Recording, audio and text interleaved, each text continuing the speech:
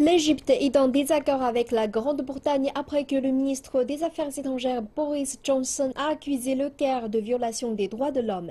Les relations du pays avec l'Italie ne se portent pas beaucoup mieux. Quant au Parlement européen, il menace de geler l'intégralité de son aide. Voyons comment l'Égypte gère ses relations avec certains États occidentaux.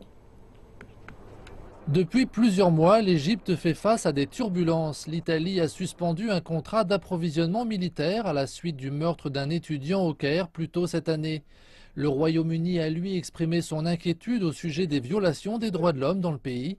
Le ministre britannique des Affaires étrangères, nouvellement nommé Boris Johnson, affirme que les condamnations à mort de journalistes et les allégations de torture de la police sont la preuve que la situation se détériore. L'Égypte, qui a nié ces accusations, a menacé de rompre les liens bilatéraux. Mais certains experts disent que l'Égypte doit se montrer plus tolérante.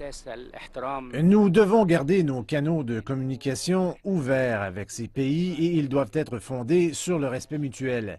Nous devons expliquer nos conditions internes avec la plus grande transparence et être prêts à répondre à toutes les requêtes des gouvernements, des organisations internationales, des forces et partis politiques. En cas de critique, nous devons l'accepter et y répondre clairement. Le président égyptien Abdel Fattah el-Sisi a adopté une approche rigoureuse de la politique étrangère depuis sa prise de fonction en 2014. Il s'est déplacé dans plusieurs pays européens, asiatiques. Il a également reçu des dirigeants étrangers ici au Caire. Abdel Fattah el-Sisi est également en train de reconstruire des liens avec d'autres pays africains.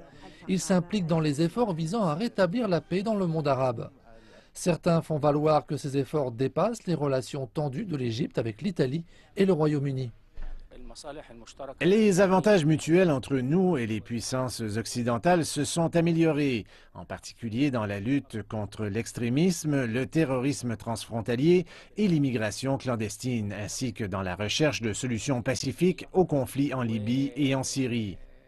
Une délégation de la Chambre des communes britannique est actuellement au Caire dans l'espoir d'obtenir un accord sur diverses questions relatives aux droits de l'homme. Elle cherche aussi à consolider la coopération avant le départ du Royaume-Uni de l'Union européenne. L'Égypte tient à maintenir des liens étroits avec l'Occident pour des raisons économiques. La promotion du tourisme, du commerce et les investissements contribueront à la reconstruction du pays après cinq années de troubles.